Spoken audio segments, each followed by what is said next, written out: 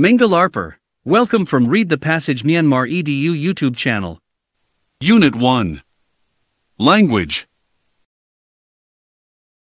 1. What is language? 2. What do we use it for? 3. What does language do for us?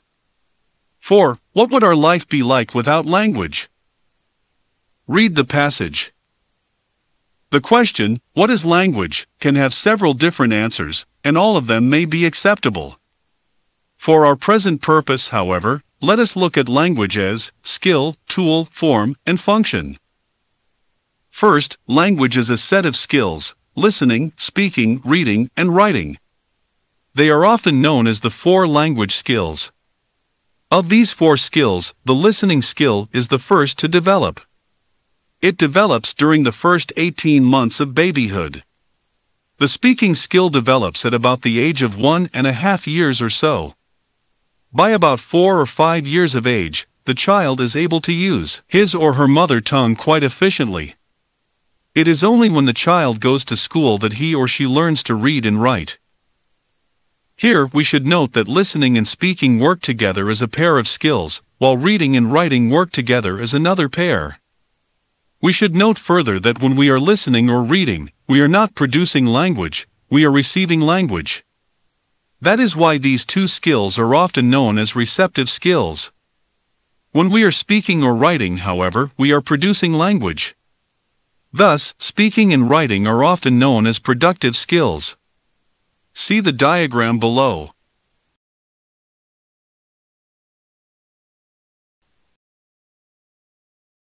Second, language is a tool for communication. This means that we use language to speak to someone or to write to someone. To speak, we use vocal symbols, to write, we use written symbols. What is interesting here is that when we speak, we use gestures such as the movement of our arms, hands, heads, and also facial expressions to help the listener understand us better. When we write, however, we use graphics such as pictures, photographs, charts, tables, etc. to help the reader understand us better. Thus, we may say that speaking and gestures go hand in hand, just as writing and graphics do. Third, communication may be one of two forms, verbal communication and nonverbal communication. In verbal communication, we use words and sentences. They may be spoken or written. In nonverbal communication, on the other hand, we use gestures and graphics. See the diagram below.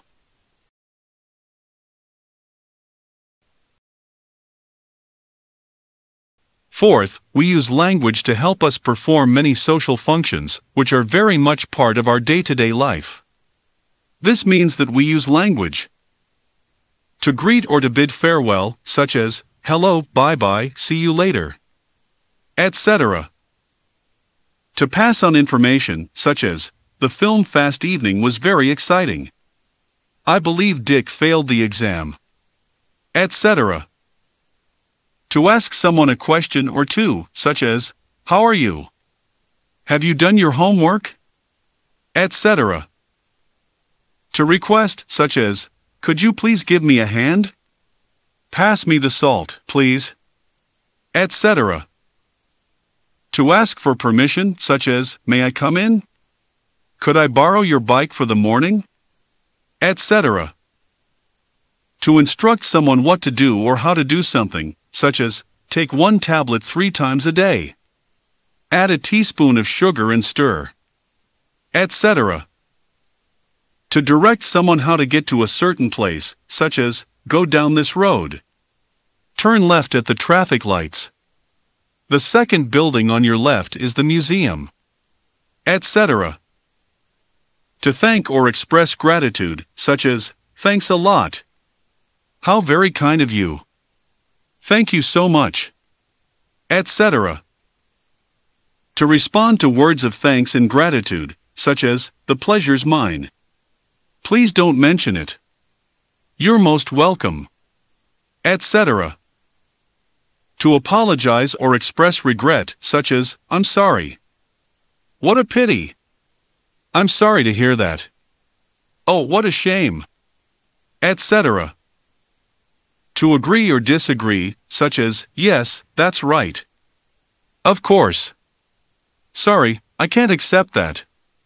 I'm afraid you're quite wrong there. Etc.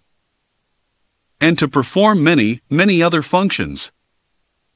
In addition, language reflects culture, preserves culture, passes on culture from one generation to the next, preserves nationality, and also identifies social class. Read the passage for this unit is finished. Please don't forget to subscribe, like and share my YouTube channel. See you on coming unit, be safe, thank you very much.